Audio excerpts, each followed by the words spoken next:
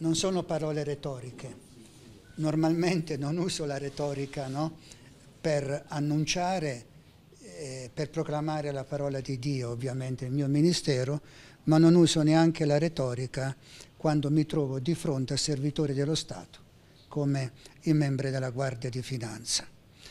Eh, sono parole veramente di ammirazione, sono parole di stima, legate in maniera particolare al servizio che la Guardia di Finanza occupa nel territorio. Un servizio difficile, un servizio difficile, un servizio ostico, però nello stesso tempo un servizio fatto con competenza, con disinteresse, bene, con grande trasparenza e anche con grande senso di umanità relazionale. Tutto questo è fondamentale perché perché attraverso di loro non passa la figura di uno Stato repressivo, ma passa la figura di uno Stato, quello che lo Stato dovrebbe sempre essere, di quello che attraverso di noi bisogna costruire, cioè uno Stato che diventa compagnia della persona.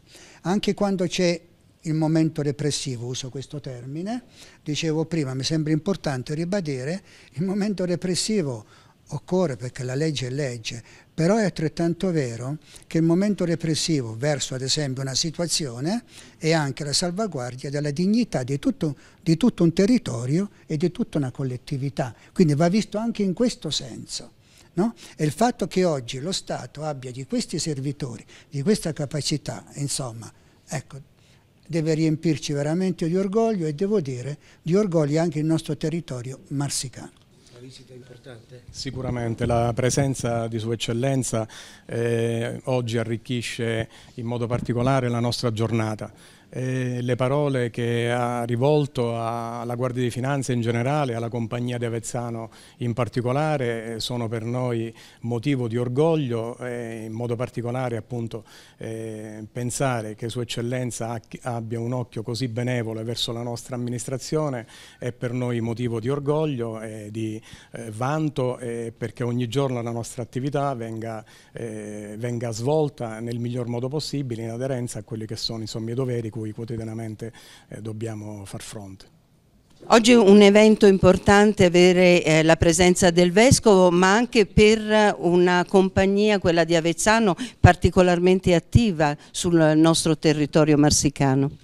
Sì, la presenza della, del Vescovo oggi costituisce un momento di grande onore, ma eh, al di là dell'onore anche un momento di mh, un resettaggio di quelle che sono poi le nostre attività istituzionali e soprattutto mirate nel solco di ciò che l'eccellenza metteva in evidenza e mi è piaciuto molto il discorso che ha fatto sul fatto che lo Stato, al di là della repressione che comunque in alcuni momenti poi diventa inevitabile, l'invito che ci ha rivolto di eh, dire, insomma, partecipare con il cittadino nella evoluzione nella vita quotidiana.